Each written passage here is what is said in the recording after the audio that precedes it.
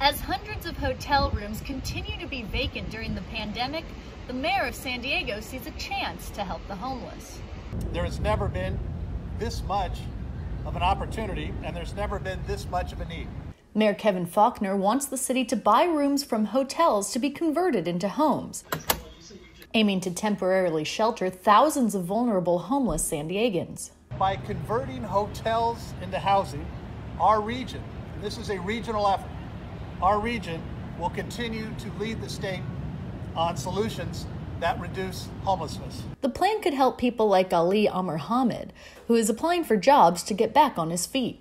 I'm hopeful to be an employer, employee of uh, Starbucks. Some say the plan could reduce crime, like Dr. Oli Pittman, who discovered a woman living on the roof of his chiropractic office.